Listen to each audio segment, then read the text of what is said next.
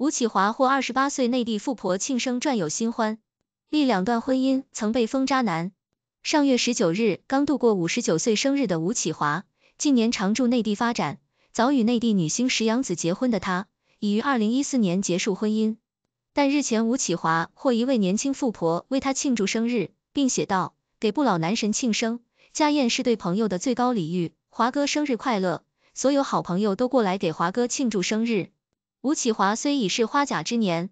但穿上鲜艳橙色 Polo 恤，外貌及身形依旧保持得很好。与这位年轻美女合照，也不觉有很大差距。有网民就猜测吴启华是否有第三春。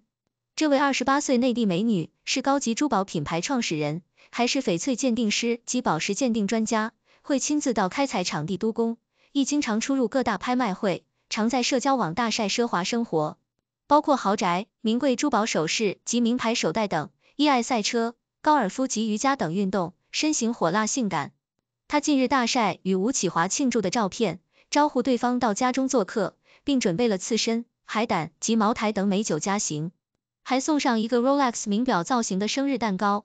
吴启华一九八三年在 TVB 出道，早年在《流氓大亨》中饰演反派崭露头角，但演艺生意经历几番起跌，在低潮期甚至与叶子楣等艳星拍过三级片《玉蒲团之偷情宝剑》，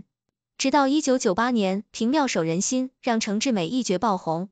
除演艺路外，他的情史也很丰富，曾与蓝洁瑛、曾华倩、李美贤及健美小姐何美婷传出绯闻。他一九九一年二十八岁时就结婚，